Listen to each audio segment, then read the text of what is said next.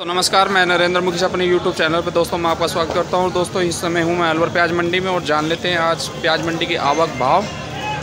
और लगभग अलवर मंडी में आज लगभग 10-12 गाड़ी प्याज के बीज की लग रही हैं। और जान लेते हैं क्या बीज रहा क्या बीज का भाव रहा। और मेरे सामने मेरे सामने रुदार भाई साहब रुदार भाई साहब नमस्कार। और नमस्कार जी। और क्या पोजीशन रही आज की? पोजीशन आज सत्रह रुपये से पंद्रह रुपये से लेके उन्नीस रुपये मानो चाहिए मतलब ऐसा आज क्या हो गया? दो तीन दिन तो बाज़ार तेज रहा था। माल की ज़्यादा आवक रही दस बारह गाड़ी लगी मंडी में आज। दस बारह गाड़ी आवक रही और मतलब बिक्री का क्या हिसाब रहा है? दस गाड़ी आठ गाड़ी मिल जाएँगे आठ मतलब बिक्री टाइट हो रही है बिक्री ठीक है बाज़ार थोड़ा डाउन तो ये बाज़ार डाउन होने का कारण ज़्यादा गाड़ी है या और ज़्यादा माल आने से ज़्यादा माल होने से।